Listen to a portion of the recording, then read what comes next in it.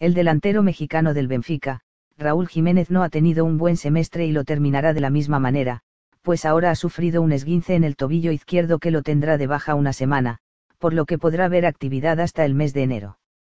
La lesión del atacante mexicano se presentó durante el entrenamiento y se perderá el juego de Copa contra el Portimonense.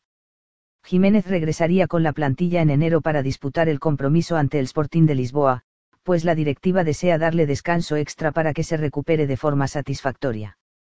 El atacante de 26 años ha tenido un semestre complicado pues ha visto acción en 249 minutos de 14 partidos que ha disputado sin ver la puerta, pues no ha logrado anotar un solo gol en lo que va de la campaña, hecho que es preocupante dado que está llamado a ser uno de los futbolistas que vaya a la Copa del Mundo de Rusia 2018.